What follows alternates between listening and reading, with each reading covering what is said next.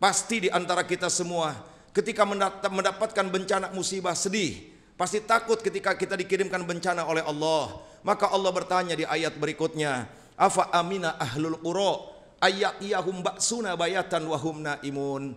Kata Allah, apakah mereka penduduk negeri mampu menyelamatkan diri ketika aku datangkan malapetaka bencana di malam hari? Lalu kemudian orang-orang munafik berkata, terang saja di malam hari, ketika kami sedang tidur, kami tidak akan mampu mengamankan diri. Lalu Allah tanya kembali ayat berikutnya, awa amina ahlul qura ayat yahum baksuna duhan wahum yal abun.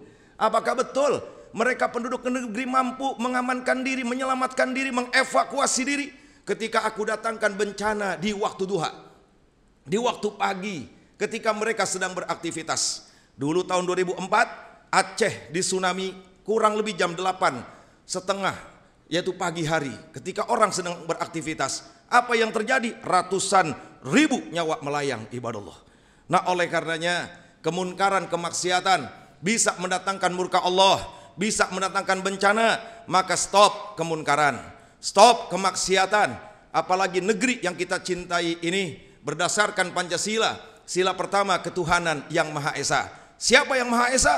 Tidak lain, tidak bukan Allah Subhanahu wa taala. Artinya ini negeri berdasarkan kalimat tauhid, berdasarkan kalimat la ilaha illallah. Maka tidak pantas hal-hal yang diharamkan oleh Allah ada di negeri ini, Saudara. Maka kaget tiba-tiba minuman keras ingin dilegalkan, tempat kemaksiatan dilegalkan, tempat kemunkaran dilegalkan. Bagaimana Allah tidak murka kepada negeri ini? Nah, oleh karenanya di akhir khutbah yang singkat ini saya hanya ingin mengingatkan melalui hadis Nabi kita tercinta Nabi besar Muhammad sallallahu alaihi wasallam. Apa kata beliau? Wallazi nafsi biyadih la ta'murunna bil ma'rufi wa la tanhawunna 'anil munkar. Aw la yushikanallahu ayyab'asa alaikum iqaban minhu thumma tad'unahu fala yustajabu lakum. Kata Nabi wallazi nafsi biyadih demi zat yang jiwaku ada di genggamannya la ta'murunna bil ma'ruf wa la tanhawunna 'anil munkar. Hai orang-orang yang beriman, hai umat Islam, hai umat Nabi besar Muhammad sallallahu alaihi wasallam, tegakkan amar ma'ruf nahi munkar. Amar ma'ruf nahi munkar bukan perintah organisasi. Andai kata ada sebuah organisasi yang selama ini berjuang menegakkan amar ma'ruf nahi munkar, dibubarkan gak ada urusan karena amar ma'ruf nahi munkar perintah Allah dan perintah Nabi kita tercinta Nabi besar Muhammad sallallahu alaihi wasallam. Apa bahayanya kalau kita meninggalkan amar ma'ruf nahi munkar? Kata Nabi, au litakhiriyah, pilihan.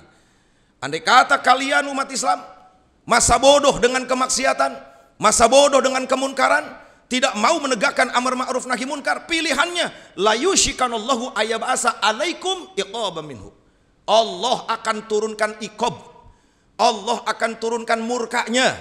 Allah akan turunkan bencana. Ketika bencana datang, summa tada'unahu Biasanya kalian berdoa kepada Allah. Apa kata Nabi? La yustajabu lakum. Doa kalian ditolak oleh Allah. Kenapa ditolak? Bukan salah doanya. Bukan kita yang salah karena perbuatan kita. Tidak mau menegakkan amar ma'ruf nahi munkar. Apa yang bisa kita lakukan dengan amar ma'ruf nahi munkar? Saat ini ada medsos. Dengan medsos. Di mana susunan amar ma'ruf nahi munkar kata Nabi, "Man ra'a minkum munkaron falyughayyirhu biyadihi." Apabila melihat kemunkaran, Anda sanggup, Anda mampu, robah dengan tangan. Fa ilam yastati fabilisani. Kalau tidak mampu dengan tangan, maka dengan lisan. Kalau dengan lisan juga tidak mampu karena mungkin keterbatasan ilmu, yang terakhir fa ilam yastati fa biqalbi. Setidak-tidaknya tangan, lisan, hati bergerak untuk menegakkan amar ma'ruf dan nahi munkar agar kita mendapatkan keberkahan dari Allah Subhanahu wa taala. Mudah-mudahan pada akhirnya kita semua diwafatkan dalam keadaan husnul khotimah.